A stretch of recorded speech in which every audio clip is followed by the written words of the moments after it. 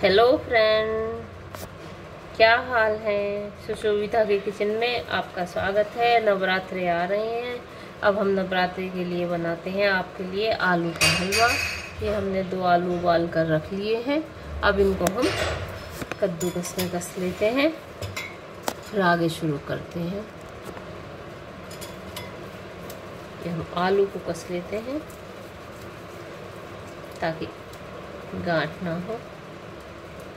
हालाँकि कसे नहीं, तब भी काम चल जाता है, लेकिन कस के और अच्छा फ्लेवर हो जाता है। कोई नहीं चुपता नहीं है। दोनों आलू हमने कस कर तैयार कर लिए हैं। ये देखिए, कढ़ाई हमने गैस जला दी थी, कढ़ाई गर्म हो गई है और इसमें हम अब डालेंगे घी। ये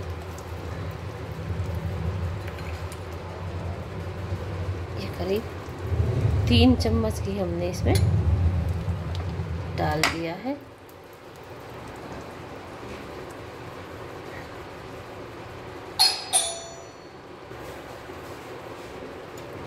अब इसमें डाल रहे हैं हम आलू।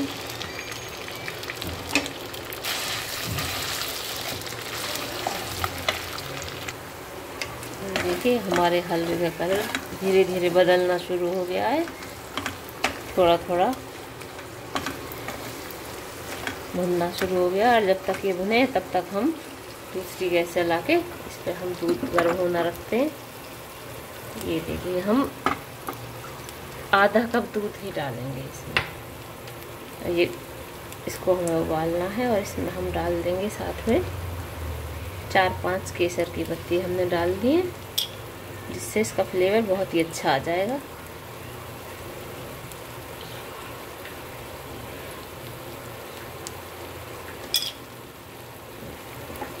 इसको तब तक हम गर्म करके अलग रख देंगे।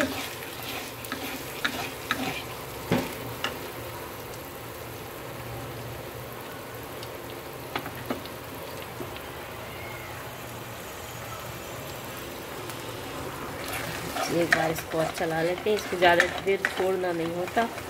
इसको चलाते ही रहना होता है। इसको आप चाहें तो कम घी का भी बना सकते हैं, लेकिन हमने थोड़ा सा तीन चम्मच घी लिया है। और बड़े बड़े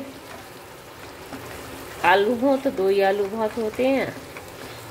दो लोगों के लिए, और अगर थोड़ा छोटे हों तो तीन आलू का आप हलवा बना सकते हैं दो लोगों के लिए। आराम से बहुत हो जाता है और इसमें घी काफ़ी छोड़ने लगा है। थोड़ा सा इसको और हम क्रिस्पी करने के लिए थोड़ी देर और हम भूनेंगे।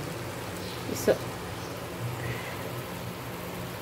इधर ये दूध हमारा, केसर वाला दूध हमारा तैयार हो गया है। ये देखिए हमारा आलू का हलवा। करीब करीब भूनकर तैयार हो गया है। एकदम से इसका कलर बदलने लगा है। अब इसमें हम डालेंगे थोड़े से ड्राई फ्रूट्स। किसमिस डाल दी है?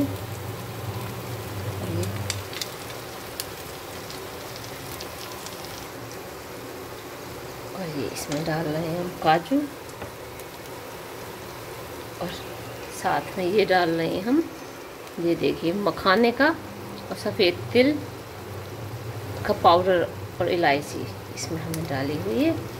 इसको पीस कर हमने रख लिया था। अब हम इसे डाल रहे हैं ऐसे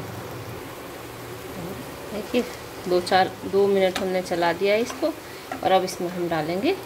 देखिए, ये आधा कप दूध हमने लिया था, केसर वाला। इसमें केसर को उबाल कर छोड़ दिया था इससे इससे फ्लेवर के लिए बहुत अच्छा फ्लेवर आएगा। और जब व्रत रखते हैं तो तली हुई चीज़ खाते हैं तो बड़ा ही अजीब सा लगने लगता है। लेकिन ये दूध अगर आप डालेंगे तो दूध डालने से वो जो घी था, वो मुँह में नहीं आएगा और ये, इसका टेस्ट बहुत ही अच्छा हो जाएगा।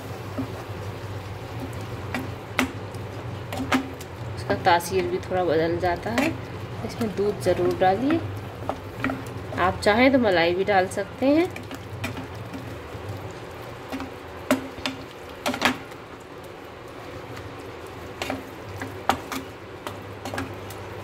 ऐसे ही थोड़ी देर चलाना और ये देखिए, ये हम इसमें डाल रहे हैं चीनी। चीनी आप स्वाद के हिसाब से ही रखें। और चीनी हमने ये करीब स्पून के हिसाब से लगाए तो हमने चार चम्मच हमने चीनी ली थी। और इसमें ये अब हम डाल रहे हैं मलाई। इससे और अच्छा फ्लेवर आ जाएगा। थोड़ी देर इसको हमें ऐसे ही चलाना होगा, ताकि ये गाढ़ा हो जाए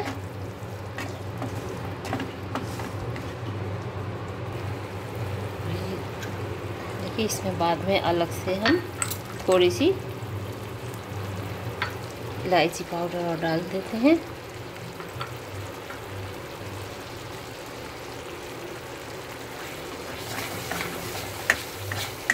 हलवा हमारा गाढ़ा होने लगा है। और ये हेल्थ के हिसाब से जैसे नवरात्रि व्रत रखते हैं, बहुत ही अच्छा रहता है। इसमें थोड़ा सा दूध और मलाई जो डालते हैं,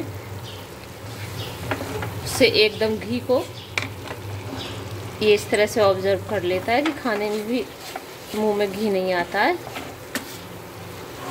और आप ड्राई फ्रूट्स अपने हिसाब से कुछ भी डाल सकते हैं, जो भी आपको पसंद हो या जो भी आप डालना चाहें। ये देखिए, ये हलवा हमारा बिल्कुल तैयार हो गया है। कितना टेस्टी हलवा है। अब इसको हम बाउल में कर लेते हैं। ये देखिए, ये हमारा हलवा बनकर तैयार हो हो गया है। अब हम इसको बादाम से और काजू से गार्निश करेंगे। आप उसमें चाहे कोई भी ड्राई फ्रूट लगा सकते हैं।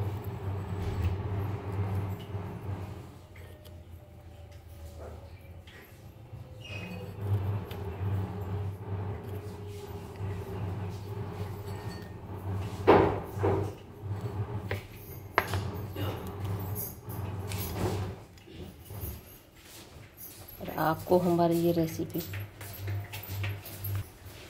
तो हमारे चैनल को सब्सक्राइब ज़रूर कीजिए और लाइक कीजिए और कमेंट बॉक्स में कमेंट करके बताइए कि आपको हमारी रेसिपी कैसी लगी।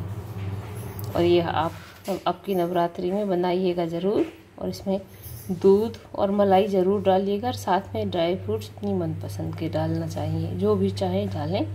और जितना ज़्यादा इसको भूनेंगे, उतना ही अच्छा टेस्ट आएगा।